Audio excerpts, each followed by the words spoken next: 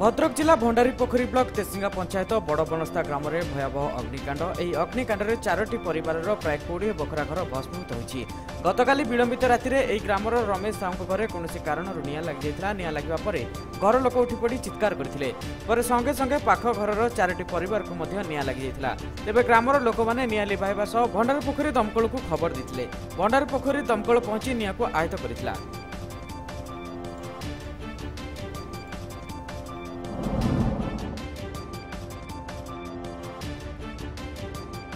ଗଞ୍ଜାମ ଜିଲ୍ଲା ଭଞ୍ଜନଗର ସ୍ୱତନ୍ତ୍ର ଉପକାରାଗାରର ଦୁର୍ଦ୍ଦାନ୍ତ ଅପରାଧୀ ଚମ୍ପଟ ମାରିବା ଘଟଣାରେ ଜେଲ୍ ୱାର୍ଡର ତିନି ଜଣ କର୍ମଚାରୀଙ୍କୁ କାର୍ଯ୍ୟରୁ ନିଲମ୍ବନ ଆଦେଶ ମିଳିଛି। ସେମାନେ ହେଲେ ସୀମାଞ୍ଚଳ ବାହ୍ୟର ଅମୂଲ୍ୟ ପାଳ ସୁକାନ୍ତ ଦେହୁରୀ ଓ ଜେଲ୍ ସୁପରିଟେଣ୍ଡେଣ୍ଟ ଶ୍ରୀ ସ୍ମିତାରାଣୀ ଖଟୁଆଙ୍କୁ ବଦଳି କରାଯାଇଛି।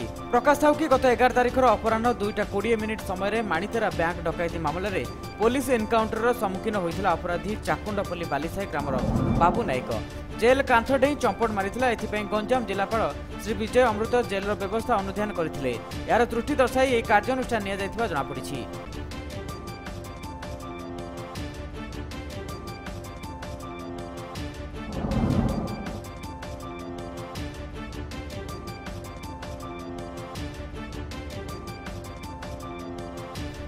ଭଞ୍ଜନଗର ପଚିଶ କିଲୋମିଟର ଜଗନ୍ନାଥ ପ୍ରସାଦ ନୋଡାଲ ଉଚ୍ଚ ପ୍ରାଥମିକ ବିଦ୍ୟାଳୟଠାରେ କୁଢ଼ କୁଢ଼ ଅଳିଆ ସାଙ୍ଗକୁ ଖତ ଗଦା ନର୍ଦ୍ଦମା ପାଣି ଜମି ପରିବେଶ ଖରାପ ହେଉଥିବାରୁ ଲୋକଙ୍କୁ ସଚେତନ କରିବା ପାଇଁ ଜଗନ୍ନାଥ ପ୍ରସାଦ ସୁରକ୍ଷା ସ୍ୱେଚ୍ଛାସେବୀ ସଂଗଠନ ସଭାପତି ସରୋଜ କୁମାର ନାୟକ ଓ ସମ୍ପାଦକ ସନାତନ ପ୍ରଧାନଙ୍କ ନେତୃତ୍ୱରେ ଯୋଗଦେଇ ସଫେଇ କାର୍ଯ୍ୟ କରିଥିଲେ। ଏହି ସଫେଇ କାର୍ଯ୍ୟକ୍ରମରେ ପାଇକସାହି କରଣସାହିର ଯୁବଗୋଷ୍ଠୀ ମଧ୍ୟ ସାମିଲ ରହି କିପରି ସ୍କୁଲ ପାଖରେ ଅଳିଆ ଆବର୍ଜନା ନ ହେବ ସେଥିପାଇଁ ଦୃଷ୍ଟି ଦିଆଯାଇଥିଲା।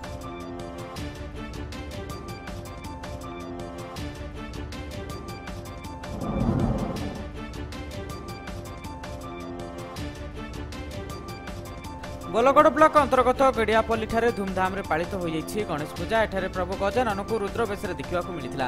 ଏଠାରେ ସୁସଜ୍ଜିତ ତୋରଣ ସହିତ ଘଣ୍ଟବାଦ୍ୟରେ ଗଣେଶ ମହାପ୍ରଭୁଙ୍କ ପୂଜାର୍ଚ୍ଚନା କରାଯାଉଥିଲା। ସେହିପରି ଗଡ଼ିଆପଲ୍ଲୀର ଗୁଡୁ ପାଙ୍କିଠାରେ ବେଶ ସୁରୁଖୁରୁରେ ପାଳିତ ହୋଇଯାଇଛି ଗଣେଶ ପୂଜା। ଏଠାରେ ସାହିର ପିଲାମାନଙ୍କ ଦ୍ୱାରା ଏକ ଗଣେଶ ଉତ୍ସବର ଆୟୋଜନ କରାଯାଇଥିଲା। ଏଠାରେ କୁନି କୁନି ପିଲାମାନେ ନୃତ୍ୟ ପରିବେଷଣ କରୁଥିବା ଦେଖିବାକୁ ମିଳିଥିଲା। ଏହି ଉତ୍ସବରେ ବିଭିନ୍ନ ବରିଷ୍ଠ ବ୍ୟକ୍ତିମାନଙ୍କୁ ସମ୍ବର୍ଦ୍ଧିତ କରାଯାଇଥିଲା।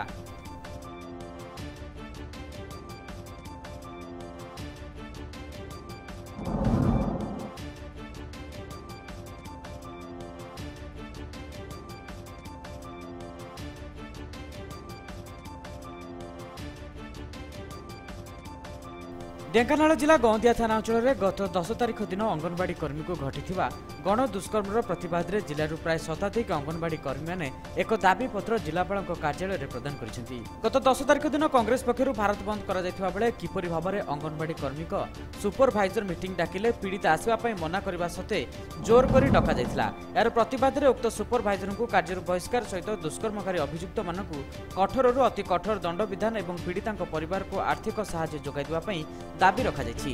ଯଦି ଏହାର ସୁବିଚାର କରାନଯାଏ ତେବେ ଆଗାମୀ ଦିନରେ ହଜାର ହଜାର ଅଙ୍ଗନବାଡି କର୍ମୀମାନେ ଜିଲ୍ଲାପାଳଙ୍କ କାର୍ଯ୍ୟାଳୟ ବନ୍ଦ କରିବେ ବୋଲି ଚେତାବନୀ ଦେଇଛନ୍ତି।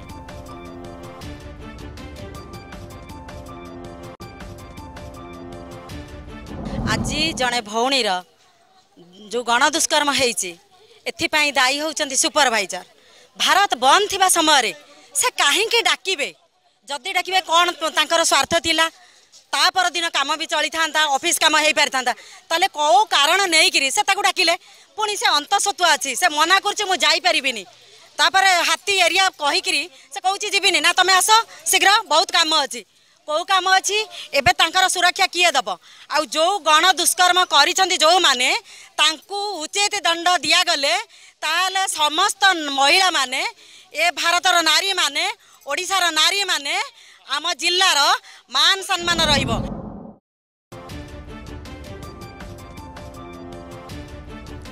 ଢେଙ୍କାନାଳ ଜିଲ୍ଲା ଭାରତୀୟ ଜନତା ପାର୍ଟି ତରଫରୁ ମେରା ମଣ୍ଡଳସ୍ଥିତ ବାବନ୍ଧ ଲାନ୍କୋ ପାୱାର ପ୍ଲାଣ୍ଟ ନାମରେ ବାର ହଜାର କୋଟି ଟଙ୍କାର ଠକେଇ ଅଭିଯୋଗ ଆସିଛି। ଲାନ୍କୋ କମ୍ପାନୀ ନେରା ମଣ୍ଡଳୀ ନିକଟରେ ଏକ ପାୱାର ପ୍ଲାଣ୍ଟ କରିବା ପାଇଁ ବିଭିନ୍ନ ବ୍ୟାଙ୍କରୁ ବାର ହଜାର କୋଟି ଟଙ୍କାର ଋଣ କରିଛି। ତେବେ ଏହି ପ୍ଲାଣ୍ଟ ଚାଲିବା ପୂର୍ବରୁ ତାହା ବନ୍ଦ ହୋଇଯାଇଛି। ଏହାର ଏମ୍ଡି ଯିଏକି କଂଗ୍ରେସ ଦଳର ଜଣେ ଏମ୍ପି ଥିଲେ ସେହି ବାର ହଜାର କୋଟି ଟଙ୍କାର ଋଣ ନେଇ ଦେଶ ବାହାରକୁ ଚାଲିଯାଇଛନ୍ତି। ଏଠାରେ ତାଙ୍କ କମ୍ପାନୀକୁ ବ୍ୟାଙ୍କ ସମୂହ ଜଗି ରହିଛନ୍ତି। ଏହି ସମୟରେ ଏହି କମ୍ପାନୀର ବହୁ ମୂଲ୍ୟବାନ ଜିନିଷ ସବୁ ଏଠାକାର ଜଣେ ପୂର୍ବତନ ବିଧାୟକଙ୍କ ସହାୟତାରେ ବାହାରକୁ ଚାଲିଯାଉଛି। ଏପରିକି ପୋଲିସ ସହାୟତାରେ ଏହି ପଦାର୍ଥ ସବୁ ବାହାରକୁ ଚୋରା ଚାଲାଣ ହେଉଛି। ତେଣୁ ଏହି ଘଟଣାର ସିବିଆଇ ତଦନ୍ତ କରିବା ପାଇଁ ବିଜେପିର ନେତାମାନେ ଏକ ସାମ୍ବାଦିକ ସମ୍ମିଳନୀରେ ଦାବି କରିଛନ୍ତି।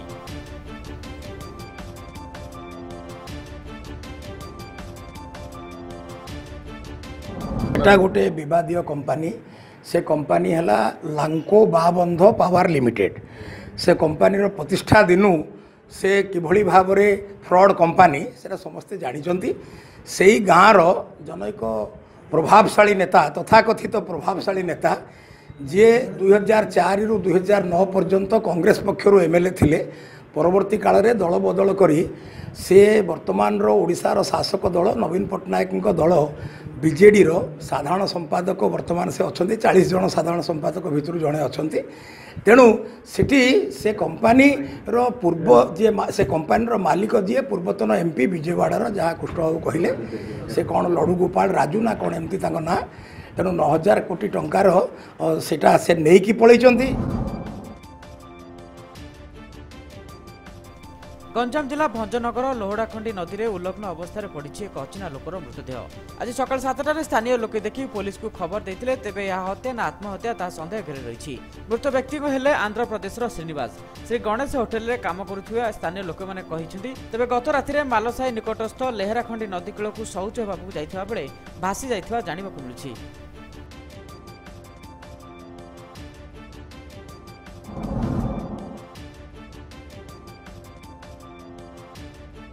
ପୂର୍ବ ଶତ୍ରୁତାକୁ କେନ୍ଦ୍ର କରି ଶଳାର ଟାଙ୍ଗିଆ ଚୋଟରେ ଭିଣେର ମୃତ୍ୟୁ ଏଭଳି ଏକ ଅଭାବନୀୟ ଘଟଣା ଘଟିଛି କଳାହାଣ୍ଡି ଜିଲ୍ଲାରେ। କଳାହାଣ୍ଡି ଜିଲ୍ଲା ମୋ ରାମପୁର ବ୍ଲକ ଡଲାବହଳି ଗାଁରେ ନୂଆଖାଇ ପର୍ବ ଭଳି ଦିନରେ ଘଟିଛି ଏଭଳି ହତ୍ୟା ଘଟଣା। ମୃତକ ଜଣକ ହେଲେ ସୁକଲ ପାତ୍ର ସେହି ଗାଁରେ ରହୁଥିବା ତାର ଶଳା।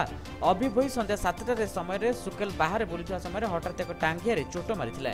ଫଳରେ ଘଟଣାସ୍ଥଳରେ ସୁକଲ ଟଳି ପଡ଼ିଥିଲା ପରେ ଗୁରୁତର ଅବସ୍ଥାରେ ତାକୁ ମୋ ରାମପୁର ଡାକ୍ତରଖାନାକୁ ଆଣିବା ବେଠାରେ ତାର ମୃତ୍ୟୁ ହୋଇଥିଲା। ଶଳା ଅଭିଭୋଇର ପୁଅ ବାହାଘରକୁ ସୁକଲ ପରିବାର କୁଆଡ଼େ ଯାଇନଥିଲେ ତେଣୁ ସେହି রাগ রাখি হত্যা করে সম্পর্কীয় পরিবার পক্ষ কুহযাই তবে অভিযুক্তক অটক রাখি পুলিশ পচরা উচরা করছে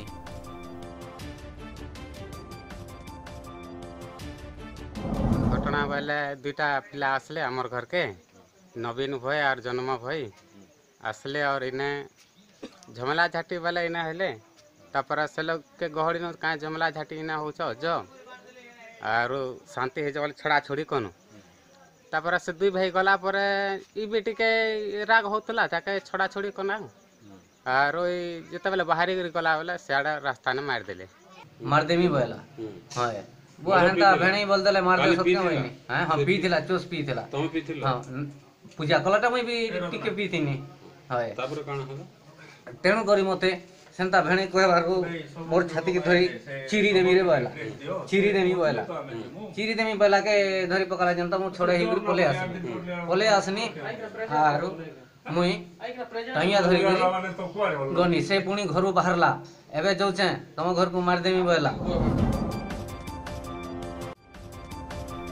କେନ୍ଦୁଝର ଜିଲ୍ଲା ବଡ଼ବିଲ ପୋଲିସ ନଅ ଜଣ ଡକାୟତକୁ ଗିରଫ କରିବା ସହ ଦୁଇଟି ହାତବୋମା ଭୁଜାଲି ଭଳି ମାରଣାସ୍ତ୍ର ସହ ଗୋଟିଏ ସ୍କର୍ପିଓ ଚାରୋଟି ବାଇକ୍ ନଅଟି ମୋବାଇଲ ଜବତ କରିଛି।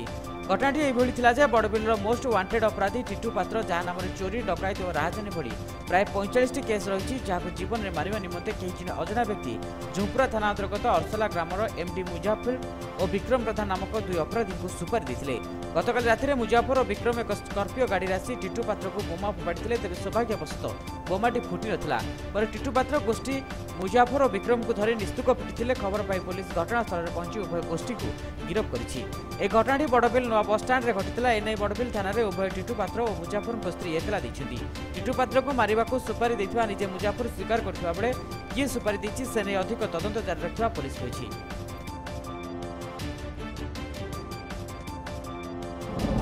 ଦୁଇଟା ରିପୋର୍ଟ ହେଲା। ଗୋଟେ ରିପୋର୍ଟରେ ମେନସନ୍ କରାଗଲା ଯେ ଝୁମ୍ପୁରାର ଜଣେ ମୁଜାଫର ବୋଲି ତାକୁ କିଡ଼ନାପ୍ କରାଯାଇଛି ଏବଂ ପଇସା ଡିମାଣ୍ଡ କରାଯାଉଛି। ଆଉ ଗୋଟେ ରିପୋର୍ଟ ହେଇଥିଲା ସେଥିରେ ବଡ଼ବିଲର ଉଁ, ଜଣେ ଟିଟୁ ପାତ୍ର ତାଙ୍କ ଘରେ ଯାଇକି ଧମକ ଚମକ ଦେଇକି ମାରିବା ପାଇଁ ଧମକ ଚମକ ଦିଆଯାଇଛି। ଉକ୍ତ ଦୁଇଟା ରିପୋର୍ଟକୁ ରେଜିଷ୍ଟ୍ରେସନ୍ କଲା ପରେ ଆମର ଗୋଟେ ଟିମ୍ ଫର୍ମେସନ୍ ହେଲା ସେଥିରେ ଆମର ଏସ୍ ଆଇ ସୌରଭ ସାମଲ ଆଉ ତାଙ୍କର ଟିମ୍ ଫର୍ମେସନ୍ କରିକି ତା'ର ତଦନ୍ତ କରାଗଲା। ତଦନ୍ତ କରା କରିବାରୁ ଜଣାପଡ଼ିଗଲା ଯେ ଏଇ ଟୋଟାଲ୍ ଦୁଇଟା କେସ୍ରେ ନଅ ଜଣ ଅଭିଯୁକ୍ତ ଇନଭଲ୍ଭ ଅଛନ୍ତି ଏବଂ ତାଙ୍କଠାରୁ ବୋମା ଆଉ ବିଭିନ୍ନ ପ୍ରକାର ମାରଣାସ୍ତ୍ର ସହିତ ଗାଡ଼ି ମଧ୍ୟ ଜବତ କରାଯାଇଛି। ମୁଁ ଗୁଡ଼ୁ ଅଛି ଗୋଟେ ନା ପିଲାଟା ସିଏ ମୋତେ କହିଥିଲା କି ଏମିତି ଏମିତି କଥା ହେଉଛି ଆଉ ଦଶ ଲକ୍ଷ ଟଙ୍କା ମିଳିବ। ତ ମୁଁ ଆଜ୍ଞା ଏଠିକାର ଦୁଇଟା ସାଙ୍ଗ ଥିଲେ ବଡ଼ବିଲର ଲିଟୁ ଶଶୀ ସେମାନଙ୍କୁ କହିଥିଲି ଏମିତି ଏମିତି କଥା ଅଛି ଟିଟୁ ଭାଇ ପାଇଁ ଏମିତି କହୁଛନ୍ତି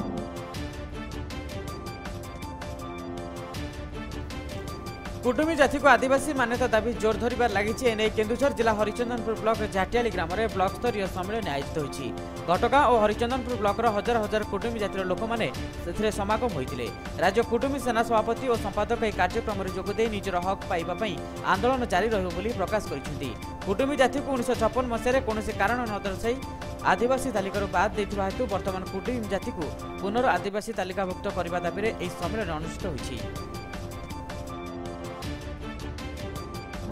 ଯେହେତୁ ଆମର କୌଣସି କାରଣ ଦର୍ଶାଇ ସରକାର ଉଣେଇଶହ ପଚାଶ ମସିହା ସେପ୍ଟେମ୍ବର ଛଅ ତାରିଖ ଦିନ ଆମକୁ ଏସ୍ ଟି ତାଲିକାରୁ ବାଦ୍ ଦେଇଥିଲେ ଏବଂ ଦୀର୍ଘ ଅଠଷଠି ବର୍ଷ ହୋଇଗଲାଣି ଏହି ଜାତି ଆଜି ନିଷ୍ପେଷିତ ଅବସ୍ଥାରେ ଅଛି।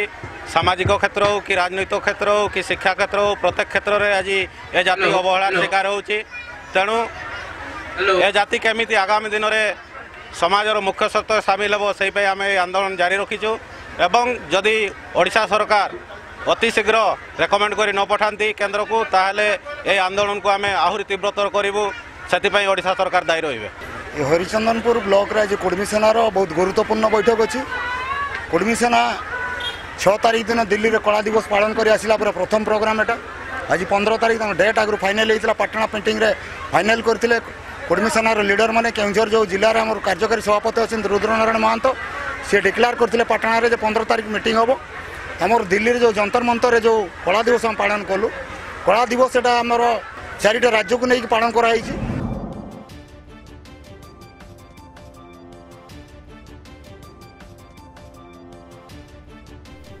କେନ୍ଦୁଝର ଜିଲ୍ଲା ହରିଚନ୍ଦନପୁର ବ୍ଲକ ଦୈତାରୀ ଥାନା ଅନ୍ତର୍ଗତ ରାସଳ ପଞ୍ଚାୟତ ଲିପିଙ୍ଗି ଗ୍ରାମର ମାନସିଂଙ୍କର ପୁଅ ଓ ଝିଅକୁ ରାତିରେ ଏକ ବିଷଧର ସାପ କାମୁଡ଼ିବାରୁ ଝିଅ ଲେମ୍ବୋ ଜେରାଇଙ୍କର ମୃତ୍ୟୁ ହୋଇଥିବା ବେଳେ ପୁଅ ଶିବ ଜେରାଇ ଗୁରୁତର ଅବସ୍ଥାରେ କେନ୍ଦୁଝର ଚିକିତ୍ସାଳୟରେ ଭର୍ତ୍ତି ହୋଇଛନ୍ତି। ଖବର ନେବାରେ ଜଣାପଡ଼ିଛି କି ଲିପିଙ୍ଗ ଗ୍ରାମର ମାନସିଂ ଜେରାଇ ଖାଇସାରିବା ପରେ ରାତିରେ ସମସ୍ତେ ଶୋଇଥିଲେ। ଶୋଇବା ପରେ ରାତି ଚାରିଟା ସମୟରେ ଏକ ବିଷଧର ଚିତି ସାପ ପୁଅ ଓ ଝିଅକୁ କାମୁଡ଼ି ଦେଇଥିଲା। ପରିବାର ଲୋକେ ଜାଣିବା ପରେ ସଙ୍ଗେ ସଙ୍ଗେ ଶହେ ଆଠକୁ ଫୋନ୍ କରିଥିଲେ ମଧ୍ୟ ଦୀର୍ଘ ସମୟ ବିତି ଯାଇଥିଲେ ମଧ୍ୟ ଆମ୍ବୁଲାନ୍ସଟି ପହଞ୍ଚି ପାରିନଥିଲା। ପରେ ଏକ ଖଟିଆ ସାହାଯ୍ୟରେ ଆଣିଥିଲେ। ପରିବାର ଓ ଗ୍ରାମ ଲୋକେ ଏକ ଅଟୋ ଯୋଗେ ପ୍ରଥମେ ରେବଣା ପଳାଶପଳ ସ୍ୱାସ୍ଥ୍ୟ କେନ୍ଦ୍ରକୁ ଆଣିଥିଲେ। ଅବସ୍ଥା ଗୁରୁତର ହେବାରୁ ସେଠାରୁ ହରିଚନ୍ଦନପୁର ସ୍ୱାସ୍ଥ୍ୟ କେନ୍ଦ୍ରକୁ ଆଣିଥିଲେ। ଆଣିବା ସମୟରେ ଝିଅ ଲେମ୍ବୋ ଜେରାଇଙ୍କର ମୃତ୍ୟୁ ହୋଇଥିଲା। ପୁଅ ଶିବ ଜେରାଇଙ୍କ ଅବସ୍ଥା ଗୁରୁତର ଥିବାରୁ ତାଙ୍କୁ ସଙ୍ଗେ ସଙ୍ଗେ କେନ୍ଦୁଝର ମୁଖ୍ୟ ଚିକିତ୍ସାଳୟକୁ ସ୍ଥାନାନ୍ତରିତ କରାଯାଇଛି।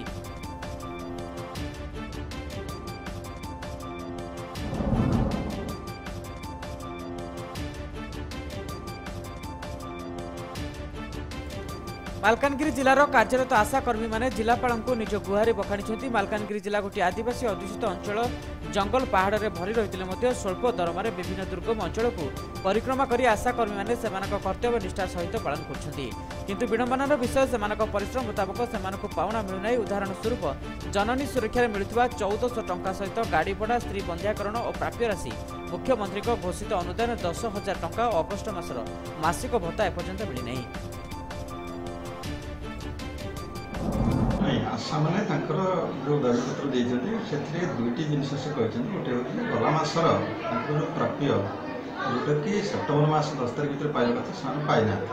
ପ୍ରଥମ ଦାବି। ଦ୍ୱିତୀୟ ଦାବିରେ ଦେଇଛନ୍ତି ବିଭିନ୍ନ ମାସରେ ତାଙ୍କର ଯେଉଁ ପାଉଣା ସବୁ ପାଇବା କଥା ଠିକ୍ ସମୟରେ ସେମାନେ ପାଉନାହାନ୍ତି। ଏଇ ଦୁଇଟା ହେଉଛି ମୁଖ୍ୟ ଦାବି ତାଙ୍କର। ସେଇଟାକୁ ଆମେ ଯେହେତୁ ବର୍ତ୍ତମାନ ଆମର ଏନ୍ ଏଚ୍ ଏମ୍ ଷ୍ଟାଫ୍ ମାନେ ସବୁ ଷ୍ଟ୍ରାଇକ୍ରେ ଅଛନ୍ତି କେହି ହେଡ୍ କ୍ୱାର୍ଟର୍ସରେ ନାହାନ୍ତି। ତେଣୁ ସେମାନେ ଫେରିଲା ପରେ ତାକୁ ଆମେ ତୁରନ୍ତ ତାଙ୍କର କ୍ଲିୟର କରିଦେବୁ ବୋଲି ପ୍ରତିଶ୍ରୁତି ଦେଲା ପରେ ସେମାନେ ଚାଲିବେ ମାଲକାନଗିରି ଡିଷ୍ଟ୍ରିକ୍ଟର ଆଜି ଆମେ ହଜାର ସତୁରି ଜଣ ଆଶା ଭଉଣୀମାନେ ସି ଡି ଏମ୍ ଅଫିସ୍ ସାମ୍ନାରେ ଆସିକି ଛିଡ଼ା ହେଇଛୁ ଆମର ଦାବି ଯେ ସରକାର ଆମକୁ ଯେଉଁ ମାସିକ ଟଙ୍କା ଦେଉଛନ୍ତି ପୋଷଣ ରାଶି ହିସାବରେ ଦେଉଛନ୍ତି ତାହିରେ ଆମେ ଖୁସି ନୁହଁ କାରଣ ଆମେ ରାତି ଦିନ ଚବିଶ ଘଣ୍ଟା ଏମିତି ମାନେ ବହୁତ ରାତି ବାରଟା ଘଣ୍ଟାରେ ବହୁତ ଅସୁବିଧାର ସମ୍ମୁଖୀନ ହେଉଛୁ। ଜନନୀ ସୁରକ୍ଷା ଯୋଜନା ଗାଡ଼ି ଯେଉଁ ଗର୍ଭବତୀ ମାଆମାନଙ୍କୁ ଆଣିବା ପାଇଁ ଦେଉଛନ୍ତି ସେମାନଙ୍କୁ ସଠିକ୍ ଭାବରେ ଗାଡ଼ି ପହଞ୍ଚି ପାରୁନାହିଁ ଯେହେତୁ ମାଆମାନେ ଅଧା ବାଟରେ କେତେବେଳେ ଘରେ ବି ଡେଲିଭରି ହେଇଯାଉଛି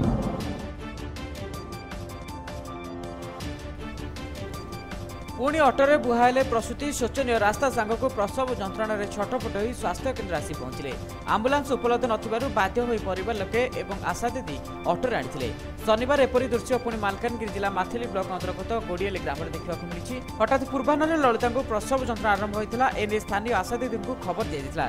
ତେବେ ଲଳିତାଙ୍କ ପ୍ରସବ ଯନ୍ତ୍ରଣା ଅଧିକ ହେବାକୁ ଲାଗିଥିଲା। ଆଶା ଦିଦି ଜଣକ ଶହେ ଆଠ ଏବଂ ଶହେ ଦୁଇ ଆମ୍ବୁଲାନ୍ସକୁ ଫୋନ୍ କରିଥିଲେ କିନ୍ତୁ ମାଥିଲି ସ୍ୱାସ୍ଥ୍ୟ କେନ୍ଦ୍ରରେ ଆମ୍ବୁଲାନ୍ସ ଉପଲବ୍ଧ ନଥିବା ଅଫିସ ତରଫରୁ ସ୍ପଷ୍ଟ କରାଯାଇଥିଲା। ହୋଇଥିଲା ଅନ୍ୟ ଉପାୟ ନ ପାଇ ପରିବାର ଲୋକେ ଏକ ଅଟୋକୁ ଭଡ଼ା କରିଥିଲେ। ସେହି ଅଟୋରେ ପ୍ରସୂତିକୁ ନେଇ ଗୋଡ଼ିଆଳିରୁ ଝୁଲୁ ନିବାହାଲ ପର୍ଯ୍ୟନ୍ତ ରହିଥିବା ଶୋଚନୀୟ ଖାଲ ଖମା ରାସ୍ତାରେ ଅଣାଯାଇଥିଲା।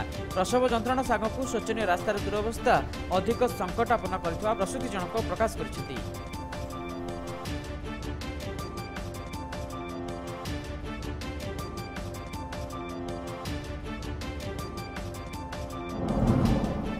କେଉଁ ଆବାହନ କାଳରୁ ଦେବୀ ଦେବତାଙ୍କ ପୋଥି ପୁରାଣ ଓ ଗ୍ରନ୍ଥକୁ ନେଇ ଦାସକାଠିଆର ଜନ୍ମ ସୂଚନା ପ୍ରକାରେ ଓଡ଼ିଶାର ଗଞ୍ଜାମ ଜିଲ୍ଲାର ଖଣ୍ଡରା ଗ୍ରାମରୁ ଏହି ଲୋକକାଳିଆ ଦାସକାଠିଆର ଉତ୍ପତ୍ତି ହୋଇଥିଲା।